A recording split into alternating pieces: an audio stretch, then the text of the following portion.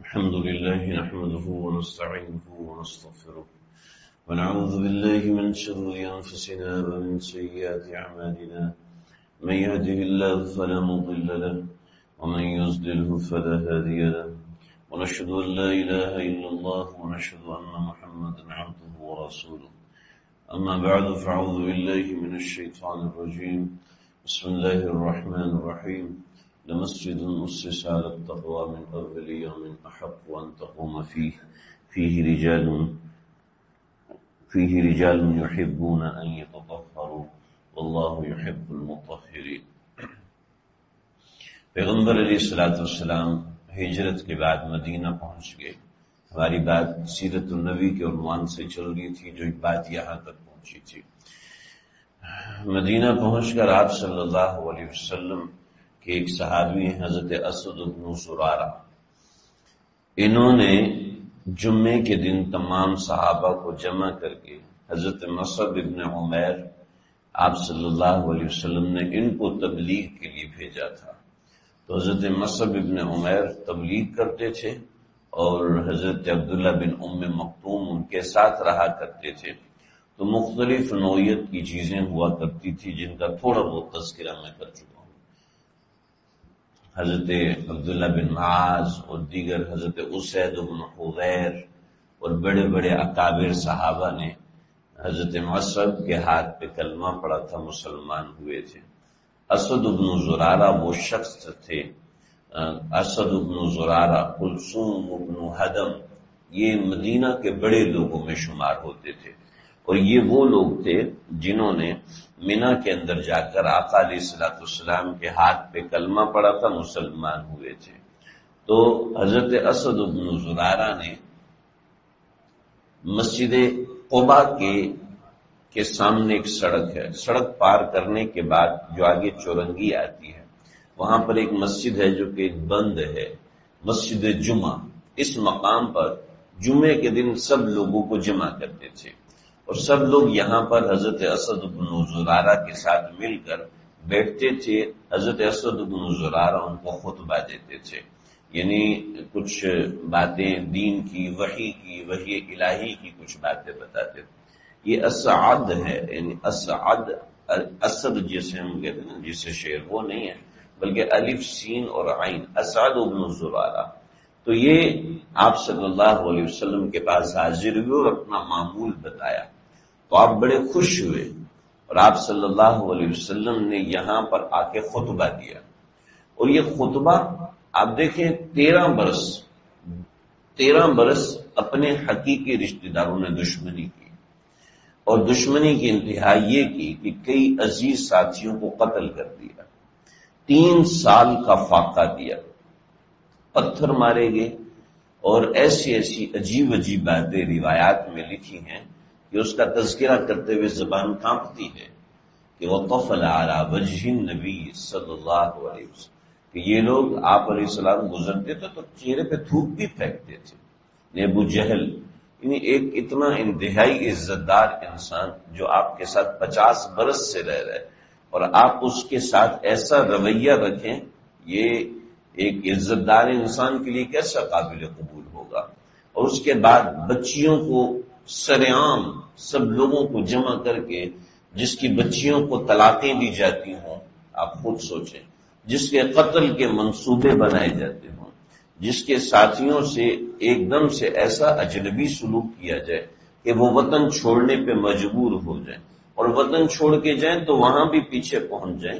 यानी दुश्मनी की कोई एक हद होती है, उस हद से भी यानी कत्ल करने के बाद भी गुस्सा ना उतरे तो आप खुद तस्वुर करें। तो उनका बुग्ज कैसा होगा?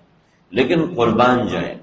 जब आप अली सलाम तशरीफ़ लाए हैं मदीना में तो आपने पहला खुतबा दिया। खुतबा अरबी में तकरीर को कहते हैं। तो आपने पहली तकरीर की। और जो आपने पहली तकरीर की है, उसमें आपने किसी दुश्मन का ज़िक्र ही नहीं किया।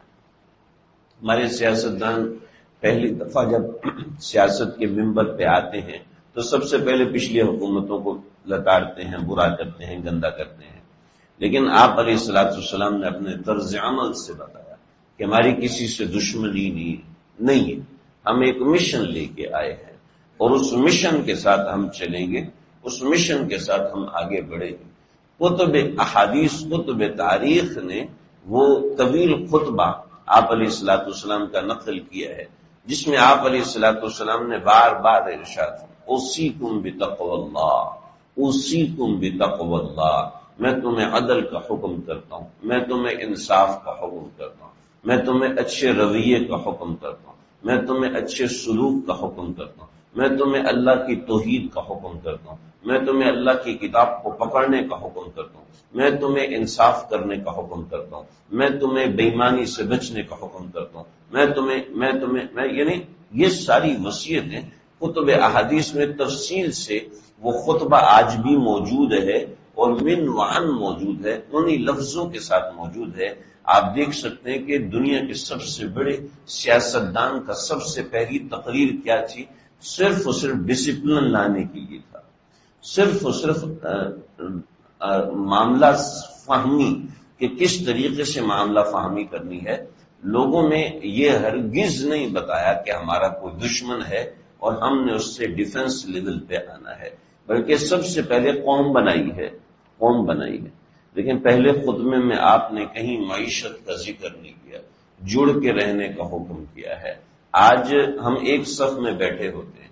एक घर के एक खाने के टेबल पे बैठे होते हैं।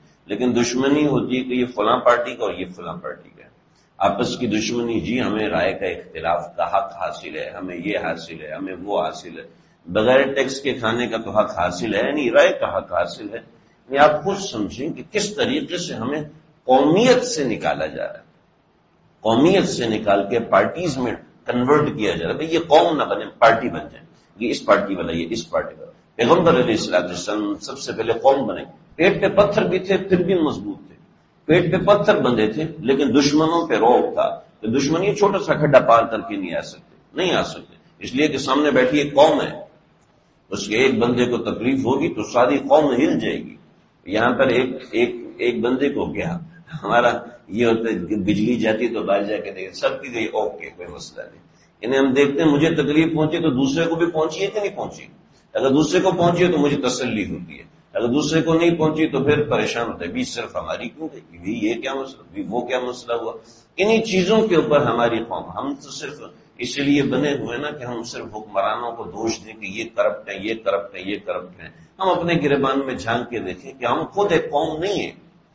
हम खुद अपने घर के अंदर एक कौम नहीं बना सके। हम खुद अपने घर के अंदर एक मुतहिदा मकाम नहीं खड़ा कर सके। तो फिर हम बाहर निकल के एक कौम कैसे बन सकते हैं? तो बहरल ये बड़ों का काम होता है। ये सिर्फ़ मैं नहीं कह रहा कि हमारा कसूर है ये हमारे बड़ों का भी कसूर है कि उन्होंने हमें कौम नहीं बनाया। उन्होंने हमें मुतहिद नहीं किया। पैगंबर सलाम का पहला खुतबा दे, मेरा दिल था, मैं पढ़ के सुनो मैं ताखिर होगी मुझे। तो ये खुतबा पैगंबर सलाम का ऐसा जानदार खुतबा है कि आपने सिर्फ़ कौम बनने का हुक्म दिया, कौम बनने का हुक्म। कि कौम बन के रहें और फिर देखें कि क्या मामला कौम कैसे आगे बढ़ती है। तो ये आप सलाम ने तालीम दी। उसके बाद आप सल्लल्लाहु अलैहि वसल्लम और भी बड़े अजीब व गरीब वाकयात पेश आए। चंद बातें मैं ज़िक्र कर चुका हूँ। मदीना शरीफ के अंदर जो आप सल्लल्लाहु अलैहि वसल्लम का पहला साल है, उस पहले साल में आप देखें, आप सलाम ने अपनी कौम को कैसे मुतहद किया? भाईचारा बनाया तो लोगों को आपस में जोड़ के रखा कि भाई ये इसके साथ रहेगा, ये इसके साथ रहेगा, ये इसके साथ रहेगा। आज तो एक किराएदार के साथ हम रह नहीं सकते कि भाई किराएदार ये गड़बड़ करेगा। आज मालिक मकान के साथ रह नहीं सकते कि वो गड़, पता है गड़बड़ करेगा। पता है कि सामने वाला सिर्फ़ लूटने के लिए तैयार होता है। शाम के अंदर जो कैसर के कुछ लोग थे, उन्होंने जासूस भेजा कि जब देख के आओ कि मुसलमान कौम रहती कैसे है। ताकि हम उनके अंदर मुकाबला करने जाना है तो किसी तरह मुकाबला कर सके। तो एक जासूस आया और जासूस आया और पहले उसने कहा कि मैं किसी जगह पे खाना खाता हूँ। तो खाने की जगह जैसे हमारे यहाँ होटल बने हुए थे उनके यहाँ भी बनी हुई थी। तो वो आया और उसने बैठ के खाना खाया।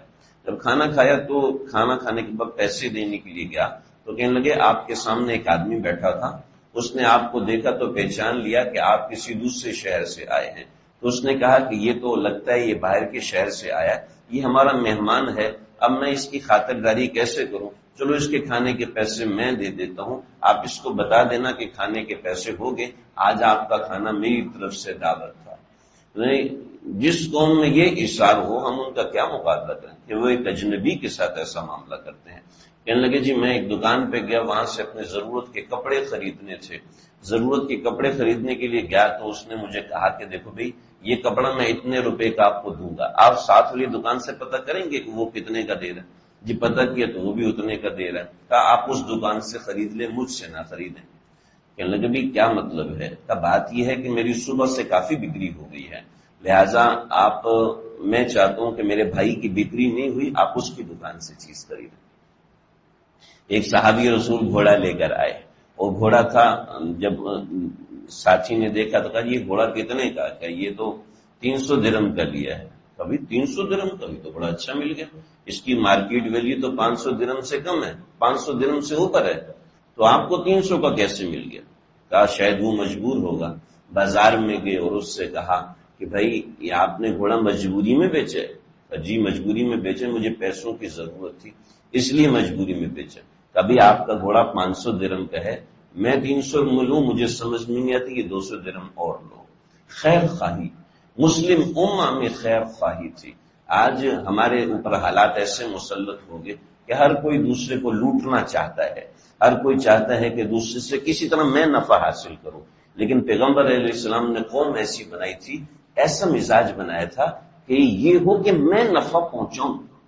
मैं नफा पहुंचाऊं। आज मैं और आप भी ये कर सकते हैं। भी हम अपना जायज़ कारोबार करें, मेहनत करें अनलिमिटेड प्रॉफिट लें, ठीक है? लेकिन ये देखें कि मैंने इसको नफा पहुंचाना है। मैं इसको ऐसा कपड़ा दूँ जिससे इसका नुकसान ना हो, ठीक है? मेरा कपड़ा महँगा है, मेरा रेट ज़्यादा है। मैं इसको ऐसी सर्विसेज़ दूँ जिससे इसका फ़ायदा हो। जिससे इसका फ़ायदा हो, ये है, ये मोहम्मदी लिबास था जो आप सल्लल्लाहु अलैहि वसल्लम ने कौम को पहनाया।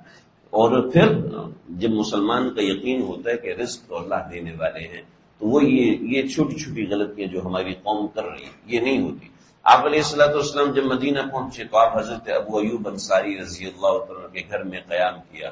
तो हज़रत अबू अयूब अंसारी रज़ी अल्लाह आपसे ऐसी वालहाना मोहब्बत रखते थे। पीछे किस्सा बता चुका हूँ कि कौम तुब्बा तुब्बा बादशाह ने हज़रत अबू अयूब अंसारी के अबो अजदाद को खत दिया था। तो ये खत जाना और मोहम्मद अरबी आएँगे तो उनको वो खत देना। तो हज़रत अबू अयूब अंसारी के घर में आप रुके हुए थे तो नीचे की मंजिल में आका सलाम थे, ऊपर की मंजिल में हज़रत अबू अयूब अंसारी थे। हज़रत अबू अयूब अंसारी खाना लेके आते, आप सलाम खाना खाते, और जहाँ से आपकी उंगलियाँ लगी होती थी, फिर हज़रत अबू अयूब अंसारी और उनकी अहलिया वहीं से खाना खाया करती थी। एक मरतबे क्या हुआ कि एक मरतबे कोई पानी का बर्तन था जो टूट गया, और टूट के छत पे गिरा जारी बात सीढ़ छतें नहीं हुआ करती थी। कच्ची छतें थी तो उससे पानी रसने का खतरा था। तो हज़रत अबू मंसाई ने जो अपना लिहाफ था, वो उसके ऊपर डाल दिया। उसने पानी जज्ब कर दिया। जब सुबह हुई तो देखा अबू अयूब परेशान हो, रात नींद नहीं आई, क्या मसला है?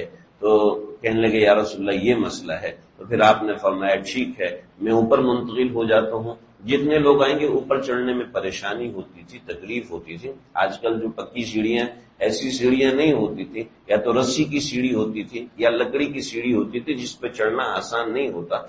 लेकिन आप देखें कि आप जिसके यहाँ मेजबान थे, आप मेहमान थे, आप सल्लल्लाहु ने उसको तकलीफ़ नहीं दी। नफर आसानी का कैसा मैार है? बीसियों वाकयात हैं कि यहूदी आप वसल्लम के पास आए और आपका निशानियाँ देखी और निशानियाँ देख के मुसलमान हुए। एक वाक्य सिर्फ़ मैं ज़िक्र करता हूँ, वाकयात बहुत सारे मैं नोट करके भी हूँ, लेकिन मौका नहीं है। हज़रत अब्दुल्ला बिन सलाम, ये आप सलाम को देखा और जब आप तशरीफ़ ला रहे थे तो एक दरख्त पर चढ़े। और दरख्त पर चढ़ के जब देखा तो दूर से आपको पहचान लिया कहने लगे कि मैंने अपनी फूफी से कहा कि ये बेशक वही पैगंबर हैं कि जिसका हमारी किताबों में ज़िक्र आता है। अब्दुल्ला बिन सलाम वो शख्स थे कि यहूद में ये किसी बात पे हाँ कर देते तो सारे यहूद खड़े हो जाते। किसी बात पे ना कर देते तो सारे यहूद पीछे हट जाते। ये न सिर्फ़ ये थे, बल्कि इनके वालिद का भी यही मकाम था, दादा का भी यही मकाम था। हज़रत अब्दुल्ला बिन सलाम बिन अब्द भी ये अपने नस्ब के अतबार से, अपने इलम के अतबार से तमाम यहूद में मुमताज़ थे। और तमाम यहूद हर मसले में इनको मुफ्ती आज़म समझते थे, आखिरी सनत समझते थे। और मुसलमानों का असल मुकाबला मुशरकिन से नहीं था। मुसलमानों का असल मुकाबला यहूद से था। इसलिए कि यहूद अहले किताब थे और अपने एक एक तशखस रखते थे माशरे में कि मुशरकिन को भी जब मसला होता तो यहूद के पास आते कि तुम्हारी किताबों में क्या मसला लिखा हुआ है। हज़रत अब्दुल्ला बिन सलाम उसमें भी पीक पॉइंट पे थे। हज़रत अब्दुल्ला बिन सलाम जब आप सल्लल्लाहु के पास आए तो तवील वाकयात लिखे आप सल्लल्लाहु को देखा, कुछ सवालात किए, उन सवालात के बाद आप सल्लल्लाहु के हाथ पे मुसलमान हुए। हज़रत अब्दुल्ला बिन सलाम का सारा कबीला भी मुसलमान हुआ। फिर कहने लगे कि, या रसोल्ला मैं जानता हूँ हमारे कबीले को कि ये किसी भी तरीके से कोई अच्छे लोग नहीं हैं, लेकिन मेरी दरखास्त है कि मैं इनको, इन, इन्हीं के मुँह पे झूठा करना चाहता हूँ, ताकि ये मुँह खोलने के काबिल न रहे। आपने फरमाया, क्या करना चाहते आपने फरमाया, अर्ज़ किया गया रसुल्ला एक कोठरी के अंदर मुझे पीछे बिठा दीजिए जब ये आपसे सवाल करने आएँगे, फिर आप इनसे सवाल कीजिएगा। ठीक है। हज़रत अब्दुल्ला बिन सलाम को अंदर बिठाया, और फिर यहूदियों के बड़े बड़े प्रीस्ट आए, पादरी आए वो सारे आपके पास बैठे, आपसे सवाल जवाब किए, सब बातों का जवाब दिया। तो आपने फरमाया कि देखो, अब तो तुम्हें यकीन आगे होगा कि मैं अल्लाह का नबी हूँ। कहा हमें तो यकीन नहीं है आप अल्लाह के नबी हैं, और ना हमारे ओलमा आपको अल्लाह का नबी मानते हैं तो हम कैसे आपको अल्लाह का नबी माने? कहा कि अब्दुल्ला बिन सलाम के बारे में क्या राय है? का वो बहुत बड़ा आलिम है और बहुत बड़ा मुत्तकी परहेजगार और हमारे लिए दर्ज सनत रखता है। तो आपने फरमाया, अगर वो इस्लाम कबूल करेगा मुमकिन नहीं है कि वो इस्लाम कबूल करे। तो अगर कर ले बिलफर्ज का मुमकिन ही नहीं है। तो आपने कहा, अब्दुल्ला बिन सलाम बाहर निकलो। जब अब्दुल्ला बिन सलाम बाहर निकले तो कलमा पड़ा अशद वशद मोहम्मद अब्दू व रसूल तो कहने लगे कि पहले कह रहे थे, ये सरदार इबन सरदार है। अब कहने ये कज्जाब इबन कज्जाब है। हम इस्लाम कबूल नहीं करेंगे, वगैरह वगैरह वगैरह। और ये करके, ये यहूदियों की रेशा रवानी आपने उम्मत को जमा करने के लिए एक और अमल किया। वो अमल था कि जब नमाज़ के लिए इकट्ठे होते तो साहब कराम को वक्त बताए जब सूरज यहाँ पे हो तो आ जाना, जब सूरज यहाँ पे हो तो असर के लिए, जब गुरूब हो जाए तो मगरिब के लिए, जब रात गाड़ी हो जाए तो ईशा के लिए। लेकिन जारी बात है कोई अलामत होनी चाहिए थी। साहबा जमा हुए कहा जी फला नापूस बजाओ किसी ने कहा जी, तबल बजाया जाए किसी ने कहा आग जलाई जाए, सब चीज़ों का मना कर दिया। मशवरे में कोई बात फाइनल नहीं हुई। तो फिर आप सल्लल्लाहु अलैहि वसल्लम के एक सहाबी, हज़रत अब्दुल्ला बिन जैद, ये अपने घर गए और घर जाके सो गए तो ख्वाब में देखा एक आदमी है जिसने सब्ज रंग का चौगा पहना है। जुब्बा जो होता है, भारी जुब्बा वो पहना हुआ है। वो आया और अब मसला ये था कि कोई बात डिसाइड नहीं हो रही थी तो इसके हाथ में नापूस था। कहने लगे, ये नापूस मुझे बेचोगे? तो कहने लगे, ये नापूस का क्या करोगे? कहा, असल में हम नमाज़ के हवाले से परेशान हैं। जब नमाज़ का वक्त होगा तो नापूस बजाएँगे, थोड़ी देर बजाएँगे, सब लोगों तक आवाज़ चली जाएगी। फिर नमाज़ के लिए सब लोग आ जाएँगे। कभी तुम्हें इससे बेहतर ना बताऊँ जी बताओ तो उन्होंने आजान के कलिमात बताए। जब इनकी आँख खुली तो पैगंबर अलीसलाम के पास आए।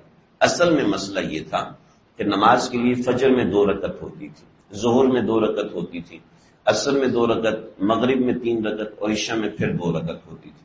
तो इस तरीके से नमाज़ होती थी और तहजद के लिए वितर की नमाज़ थी। तो जब आप सल्लल्लाहु अलैहि वसल्लम मदीने में तशरीफ़ लाए और अजान का हुक्म हुआ तो उसके साथ नमाज़ की रकत में तब्दीली हुई। मैं कि हजर के अंदर, यानी जब सफ़र में नहीं है तो ज़ोर की चार पढ़ेंगे, दो मजीद बढ़ा के असर की भी चार पढ़ेंगे, दो मजीद बढ़ा के और ईशा की भी चार पढ़ेंगे।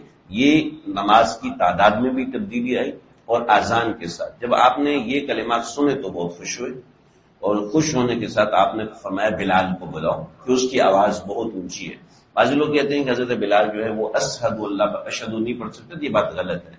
ऐसी मन घड़त सी बात है, ये बात दुरुस्त नहीं हज़रत बिलाल के साथ का इनकी आवाज़ ऊँची है ऐसा करो, मस्जिद नबी के साथ एक खातून अंसारी का मकान था उसके ऊपर चढ़ जाओ। और चढ़ने के बाद अब्दुल्ला बिन जैद, तुम बताओ बिलाल को कलिमात, और बिलाल, तुम ऊँचे ऊँचे ये कलिमात करो, ताकि ये एक ऐलान होगा नमाज़ का। चुनाचे जब ये अजान की कलिमात हज़रत बिलाल ने कहने शुरू किए तो हज़रत उमर घर से, घर में लेटे हुए तो अपनी चादर उठा के भागे। चादर ऊपर पहनते हैं, वो चादर पहनने की भी, पहनने का मौका मिला बल्कि भागे। और भाग के आप अलैहि के पास आए कहा, या अल्लाह की कसम, मैंने भी ख्वाब में यही कलिमात सुने थे, लेकिन मुझे हया आती थी। कि मैं आपके सामने ज़िक्र करूँ। तो ये अजान के कलिमात इस तरीके से आए, इसमें बड़ी तफसीलात है। एक अजान के ऊपर एक घंटा बात हो सकती है कि इसके अंदर क्या तब्दीली आई, किस मौके पे आई, फिर इसमें इस्तरजा हुआ, फिर इसमें अशद चार मरतबा हुआ, फिर अशद मोहम्मद रसुल्ला चार मरतबा हुआ, और फिर इस तरीके से फिर हई सरा पे एक दाएँ तरफ़ सुरंग बनाएगी, फिर बाएँ तरफ़ सुरंग बनाएगी, उसमें जाते हई सरा कहते उसमें जाते हई फला कहते तो ये एक बड़ा तफसीली बात है बल मुख्तर इतना सा है। आ, ये अजान के वकू तक पहली हिजरी के अंदर ये मामला हुए। उसके बाद के आगे मामला इंशाल्लाह आइंदा ज़िक्र करूँगा। अल्लाह तला समझने के अमल करने की